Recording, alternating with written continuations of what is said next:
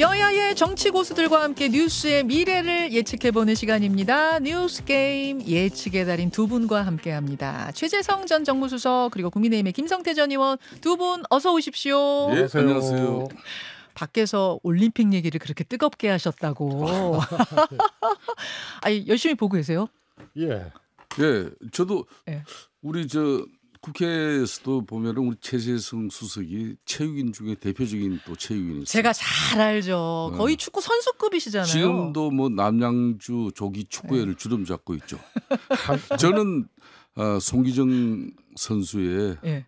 그런 민족혼 애국혼을 기리는 송기정 기념재단의 대표이사장을 저도 맡고 있습니다. 아 마라톤과 네. 축구 네. 어 거의 뭐준 선수 두 분이 계시니까 바깥에서 저, 저 대기실이 뜨거울 수밖에 없었던 네. 거군요. 저도 마라톤 했었죠. 마라톤도 하세요? 예. 어, 아 지금은 안 하고 지원을 하죠. 예. 국회의원 초선 때까지는 예. 했었죠. 준 체육인들이시네요. 11일 달 송기정 평화 마라톤 대회 5km 코스 뛰시면 됩니다.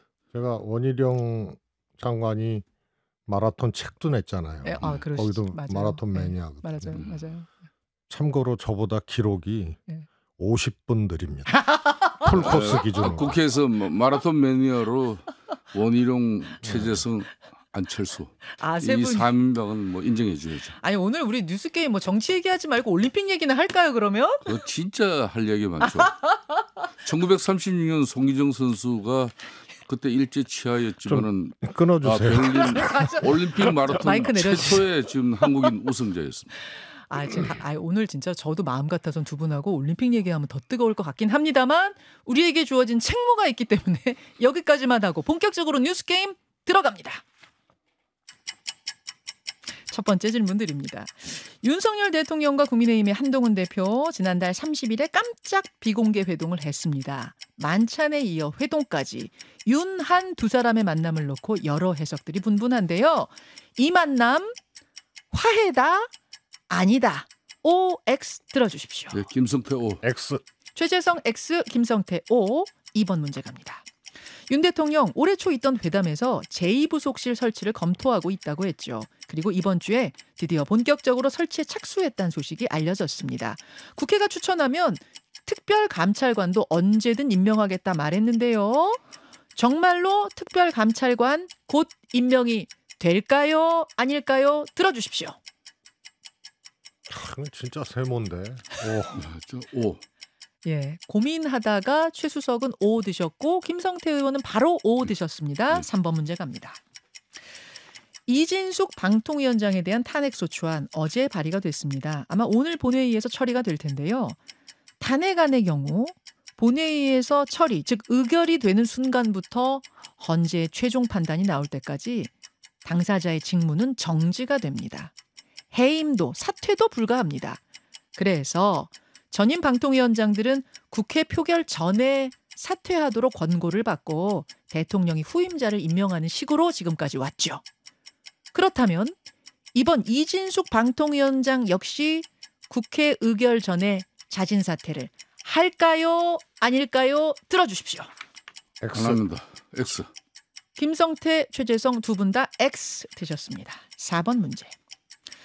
어제 열린 국회 본회의에서 민생회복 지원금, 즉 일명 전국민 25만 원 지원금이 상정됐습니다. 지금 필리버스터가 한창 진행 중인데요. 아마 필리버스터가 곧 종료가 되고 오늘 본회의에 표결에 붙여질 겁니다.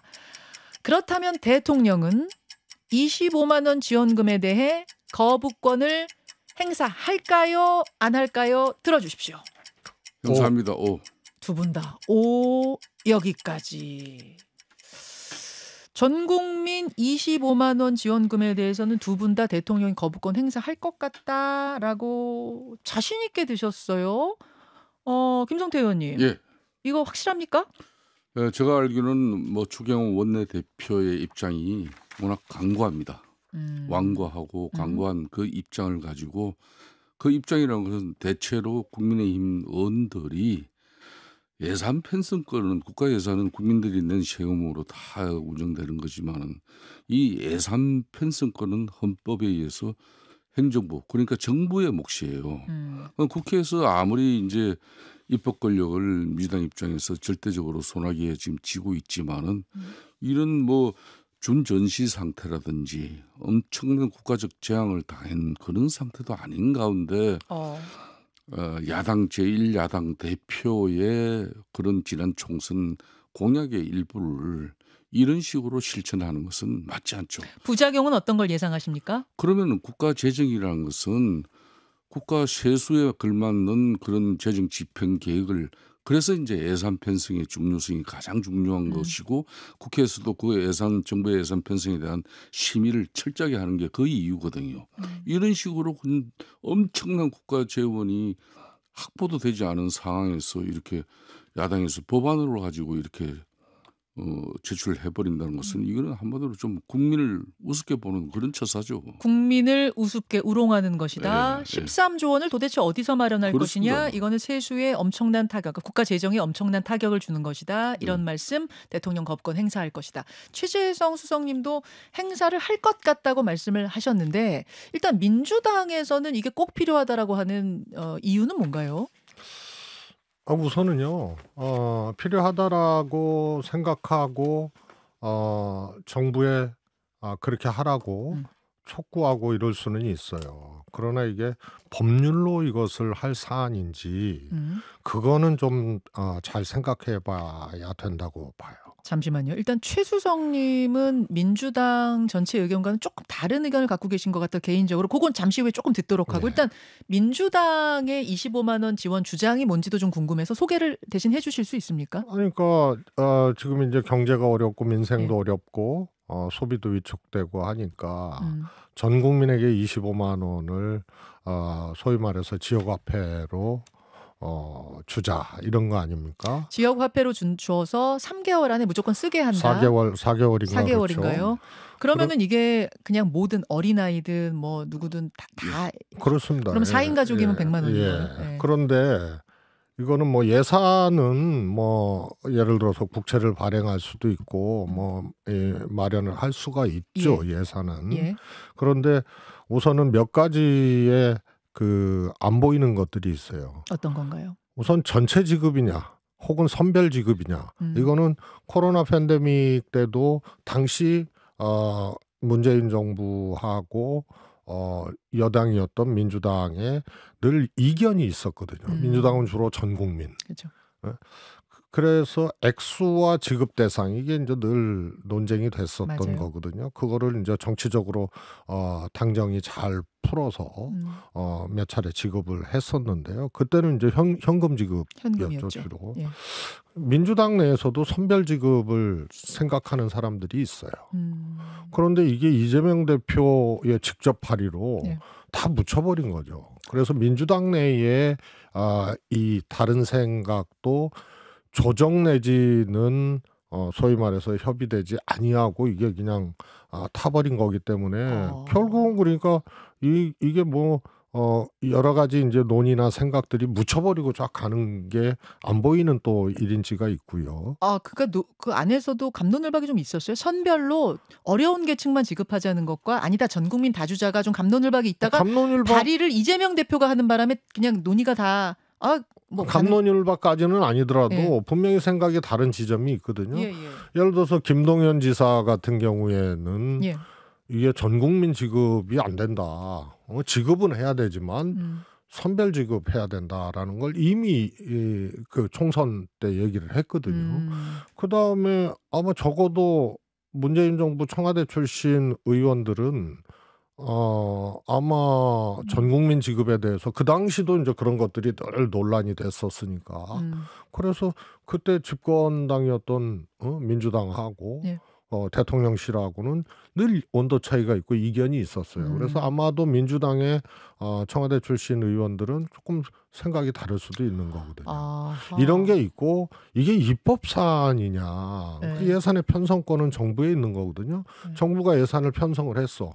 이게 문제가 있어. 음, 그랬을 때 국회의 기능이 음, 작동을 하는 것이 정상적인 거거든요. 음. 그래서 이런 점에서 저는 이게 법적으로 이게 이렇게 특히 어. 대표가 직접 발의해서 그 상권 분립 문제냐. 체계를 근본적으로 흔드는 저게 그냥 대수로운 일 아니에요. 그냥 25만 원, 5만 원씩 그냥 뭐 어려우니까 이걸 돈을 아무리 이제 지난 총선 정부에서 음. 이재명 대표의 확고한 의지가 있어서 음흠. 그런 입장이 천명되었다 하더라도 예. 그 내용이나 그러니까 금액이라든지 지급 대상 꼭 해야 한다 하더라도 음흠. 정부하고야 이거야말로 국회와 정부가 긴밀한 협의가 이루어져야 되는 것이고 그게 이제 어 그렇게 해서 여야 합의한 예산이 돼요. 이게 음. 최수께서 설명을 쭉 했는데 왜 보편적 복지냐 선별적 복지냐 이거 네. 가지고 국민의힘과 민주당이 싸우는 이유가요. 네. 가령 2018년도에 제가 당시 원내대표하는 시절에 그 우리 당도 아동 수당을 예. 지급해야 되는 거 다 동의했어요. 네네. 근데 이 아동 수당을 정말 이재용 회장 아들까지 뭐 이렇게 다 줘야 되냐? 삼성 아들까지 줘야 그렇지 되냐? 그런 문제 있다가 이게 이제 아니다 민주당은 다 주자 전 국민에게 이렇게 됐는데 네. 근데 사실상 제가 이렇게 보니까 그 아동 수당 지급 대상을 구분하고 음. 선별해내는 비용이 더 많이 들어요. 그 비용이 더 들어서. 어, 음. 그게 한 600 아동 수당 지급은 600억 정도면 네. 되는데 실제 그 맞아요. 비용은 또 그래서 그걸 다 과감하게 줄여줬잖아요. 제가 뭐 그 보편적 복지나 선별적 복지 이런 뭐 예.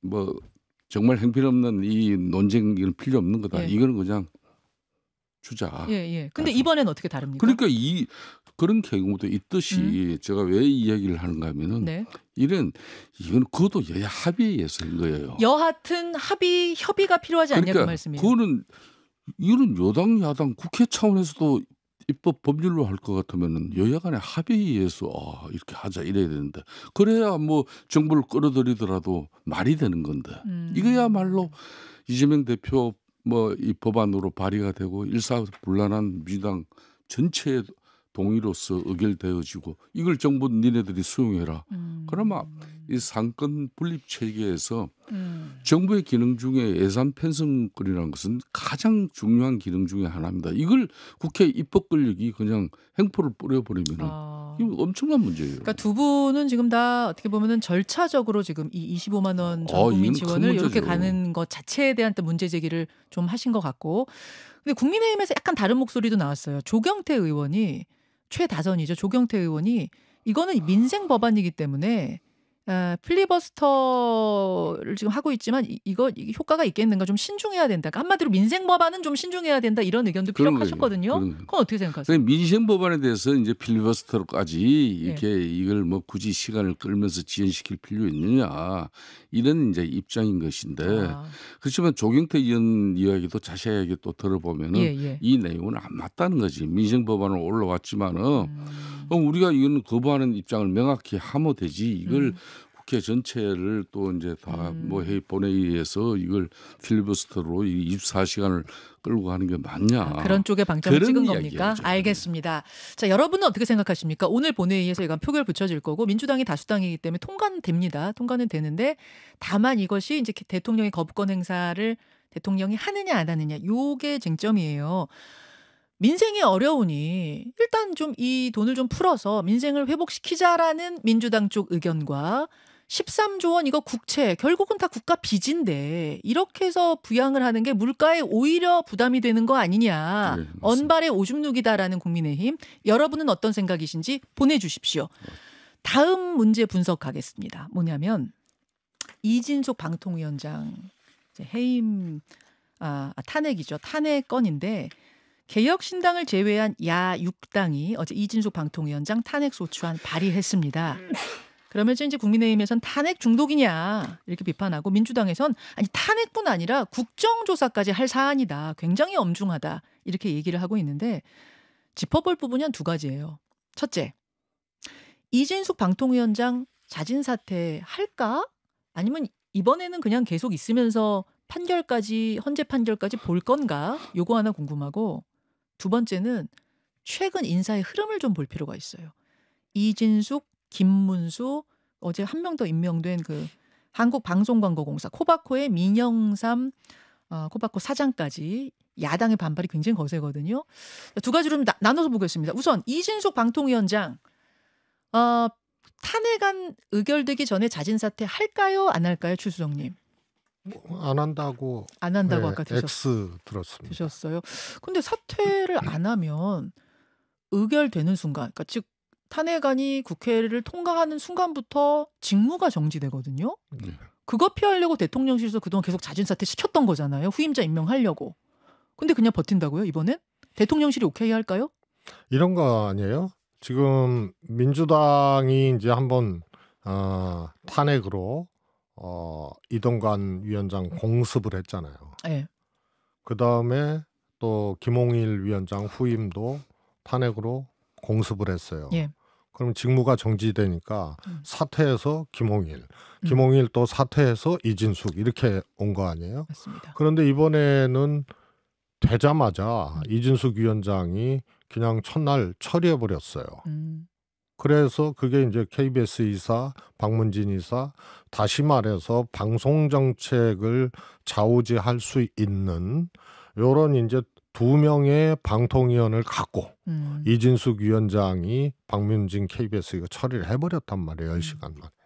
그러면은 그 다음부터는 방송 장악이 사실상 아, 순서대로 가는 거기 때문에 이번에는 이진숙의 공습이었다. 아 이진숙의 그래, 공습이었다. 그래서 민주당이 탄핵을 발의해도 원 포인트 방통위원장이 이진숙이거든요. 아. 그래서 현재 1차 과제는 끝내버린 거예요. 아 KBS 이사 교체, MBC 이사 교체 했으니까 네. 거기 경영권에 어- 얼마든지 뭔가 이제 앞으로 행사를 할수 앞- 있다는 앞으로 거죠. 이제 할 수 있는 교두보를 확보했다는 1차 과제를 일단 했기 때문에 이진숙은 할 일 다 했다. 예, 어, 거기까지 원 포인트거든요. 임무 다 했다. 그러니까 사퇴 안 하고 그냥 버티는 거죠. 아. 그러면은 직무는 정지돼도 예. 그 안에 할 일이 별로 없어요. 제일 중요한 일 하나를 음. 한 거예요.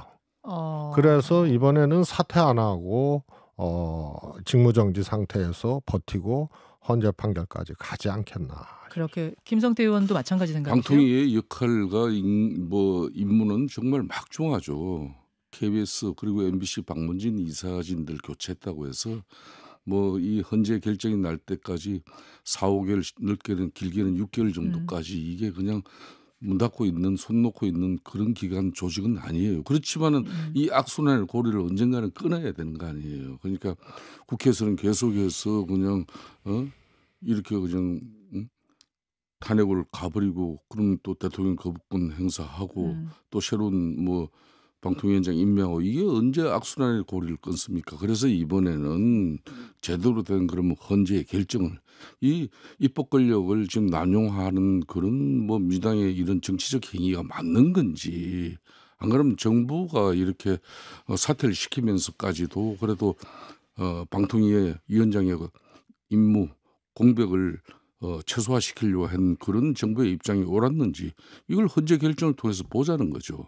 그래 그런 입장이고 이제 이건 어떻게 보면은 현 윤석열 정부 입장에서는 좀 성부수를 또 띄웠다고 봐야죠. 이번에는 그냥 갈 예. 것이다. 그러니까 헌재 판단까지 헌재 볼 것이다. 결정이라는 것은 쉽게 말하면 헌법적 법률적 그런 위반 행위에 대해서 예, 예. 거기서 판단하는 거 아니겠습니까? 예. 그러니까 국회 이제 입법 기능에서 이렇게 어, 방통위원장 특정 장관직에 대해 가지고 이렇게 탄핵을 남발하는 부분에 대해서 음. 한번 제대로 된 심판을 받아 보겠다는 거죠. 탄핵이 안 될 거라고 지금 김성태 의원은 보시는 거군요. 헌재에서 탄핵 각하될 거다. 와 이걸 뭐 어떤 거다. 네. 예측이나 예단하고 어떤 결정과 판단을 하면 안 되는 것이죠. 그런데 이걸 언제까지 세 번씩이나 이렇게 음. 한 기간의 장을 1년도 안 된 6개월 만에. 거의 되는 이런 상황은 정말 언젠가는 국민들한테 예. 제대로 된 심판의 모습을 보여야 되는 근데 거죠. 말이죠. 예. 탄핵까지 되냐 안 되냐는 차치하고 취임한 첫날 42초씩 면접해가지고 이사들을 뽑아버린 거 이 자체는 탄핵까지는 설사 안 간다 치더라도 이거는 문제가 심각하다라는 민주당의 지적에 대해서는 최재성 수석은 어떻게 아, 뭐 보세요? 심각하죠. 그러니까 이 과정들을 보면 그 방송을 정말 이 정부의 입맛대로 장악하겠다 이런 의도가 분명히 읽혀지는 인사들을 계속 했거든요. 이동관, 김홍일, 어, 이진숙 그리고 두 명의 방통위원 위원장 직무대행 포함해서 두 명의 방통위원들이 의사결정을 다 해버리고 그리고 뭐 이준숙 후보자 보셨지만 뭐 도덕성이나 뭐 법화 문제 이런 걸 떠나서 그야말로 방송 정책을 다루고 할 만한 의지와 내용이 없는 사람이에요. 그래서 이진숙 위원장은 오로지 뭐 저는 뭐 대통령도 그렇다고 보는데 방송 장악을 위해서 어 이 미션을 수행하는 그거 이상도 이하도 아니라고 봐요. 그렇지만 그렇다고 해서 탄핵 그 한 가지 사안으로 탄핵까지 할 건 또 아니지 않느냐? 이거는 역풍 불 거다. 이건 어떻게 제가 보세요? 보기에는 이동관 전 방통위원장 경우에는 예. 어, 취임하고 중, 직무 중에 조금 뭐 불법적이라고 하- 해석될 음. 수 있는 행위들이 어, 또 야당 입장에서는 음. 있었어요. 그래서 어, 탄핵을 추진하는 것은 저는 뭐 야당 입장에서 그럴 만한 근거가 좀 있었다. 음.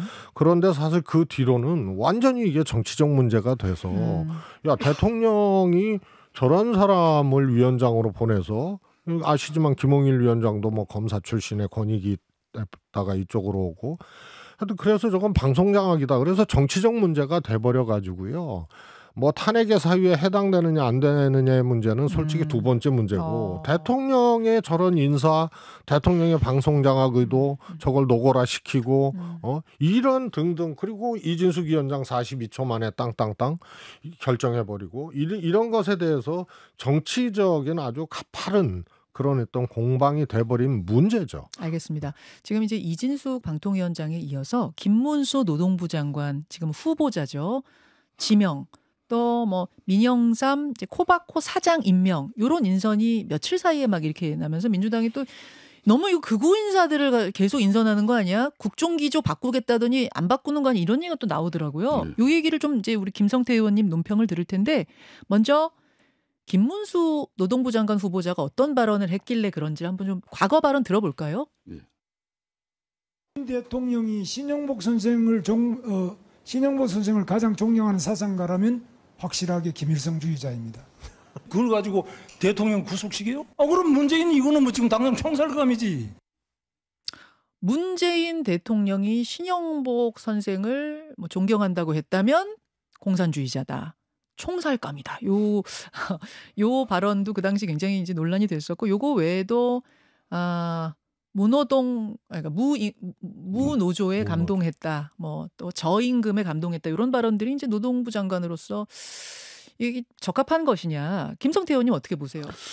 저도 뭐 노동운동 현장에서 뭐 한 20년을 넘게 22년을 저도 활동을 했습니다만은 김문수 위원장 같은 경우에는 과거에 참 80년대 90년대 한때 노동운동 현장에서도 나름 또 사회적 약자 노동자의 권리를 찾고 대변하기 위해서 열심히 활동한 활동가였죠. 음, 음, 상당히 좀 뭐 이 극단적인 수단을 선택해서라도 뭐 이 자본 기업들에 대한 음. 대응하는 방식이 전에는 가격했습니다. 네. 그렇지만은 그런 노동운동을 통해서 이 사회 체제를 좀 변화시켜 보자는 본인의 노력이 뭐 이 결론은 어 북한의 그런 조선 인민 민주주의 사회주의적 어떤 방식 가지고는 안 된다. 그래서 전향을 공식화한 사람이에요. 예.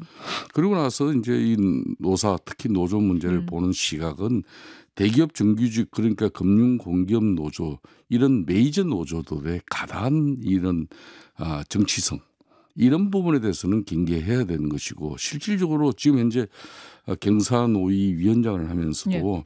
대기업 협력 하청회사 그러니까 중소기업 노조들의 그 애언과 고충을 위해서 언론 보도는 되질 않고 일본이 언론 플레이 하는 걸 그렇게 뭐 썩 좋아하시는 분이 아니에요. 그런데 음.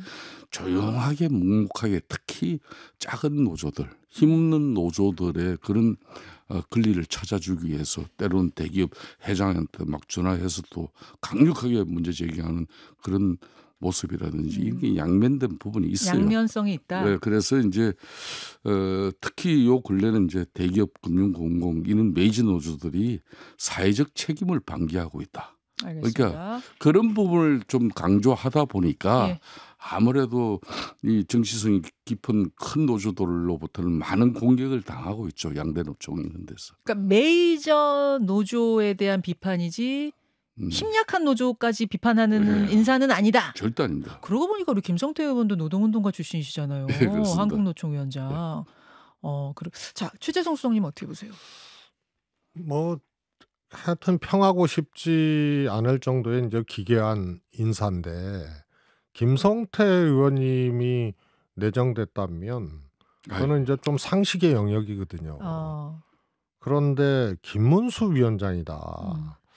이건 도저히 뭐 대통령의 솔직히 생각이 어디쯤 가 있는지 어, 읽을 수 있는 아주 전형적인 대목 같아요. 이진숙 위원장 정말 극우적이죠. 사실 논리 없는 극, 극우거든요. 그 다음에 김문수 위원장 뭐더 설명할 필요 없이. 그래서 이런 과정들을 보면서 대통령 스스로가 어, 소위 그, 극우 유튜버에 취해 있다는 말이 어. 그 말이 아 사실이구나 이렇게 생각할 정도의 저는 아, 인사라고 봅니다. 자, 이제 여러분의 의견은 문자로 주십시오. 오늘 두 분과 함께 이번 주 이슈들 풀어가 봤습니다. 김성태 의원, 최재성 정- 전 정무수석 두 분 고맙습니다. 예, 감사합니다. 감사합니다. 김현정의 뉴스쇼는 시청자 여러분의 참여를 기다립니다. 구독과 좋아요, 댓글 잊지 않으셨죠? 알림 설정을 해두시면 평일 아침 7시 10분 실시간 라이브도 참여하실 수 있습니다.